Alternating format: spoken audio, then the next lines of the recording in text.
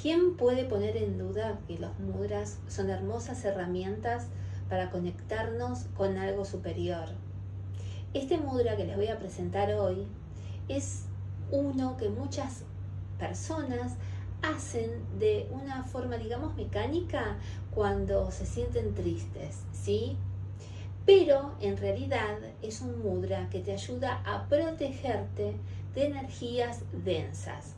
Cuando digo esto, no quiero decir que uno tenga que ver en el otro siempre a un enemigo, pero sí debemos entender que si estamos en un lugar con muchas personas, tal vez porque hay discusiones, tal vez porque las personas algunas no se sienten bien o por muchas otras, otras razones, la energía esté un poquito densa, ¿sí? Inclusive, por ejemplo, si visitamos un cementerio o visitamos eh, a una persona enferma, eh, puede que un poco de esa energía, digamos, se pegue, entre comillas, en nosotros. Entonces, este mudra que te estoy mostrando, ¿cómo se hace? Se hace con la mano izquierda, ¿sí? Y después llevas tu mano detrás de tu cintura como si lo estuvieras escondiendo, ¿sí? Porque en realidad este mudra lo podés hacer de forma disimulada, obvio, cuando estás justamente en esos lugares, ¿sí? Podés, ya te digo, de una forma rápida, no hace falta que estés mucho tiempo y tranqui, ¿sí? Lo haces y es una forma de protección.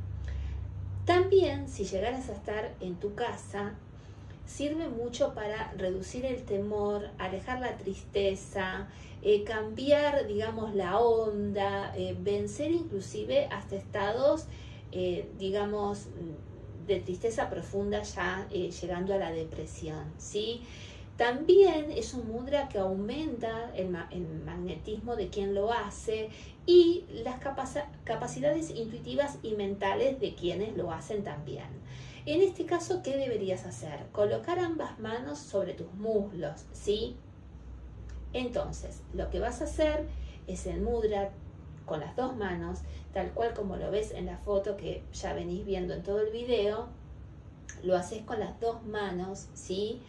Y pones las manos sobre tus muslos. Ahora lo que vas a hacer, vas a tomar aire por la nariz, ¿sí? Vas a contener la respiración dos o tres segundos. Acá abro un paréntesis. Si sufrís de hipertensión, nunca, nunca, pero nunca retengas el aire. Lo haces de la misma forma, solamente que inspiras y exhalas, sin que esté el retener el aire en el medio, ¿comprendes? Eh, yo, con, bueno, te lo digo por conocimiento de causa, así que haceme caso. Entonces, haces el mudra, respirás, si podés retenés, si no, no. Y cuando eh, exhalas, vas a decir el OM, ¿sí? Percibiendo la vibración en el oído derecho. Vas a exhalar el aire despacio, ¿sí? Mientras contraes tu abdomen. Después abrís las manos visualizando que todas las preocupaciones o los miedos o la causa por las que hiciste el mudra abandonan tu cuerpo. Este ejercicio es ideal que lo repitas siete veces mientras afirmas, me dejo llenar de luz, ligereza y alegría divina. Practícalo y te puedo asegurar que vas a obtener excelentes resultados. Namaste.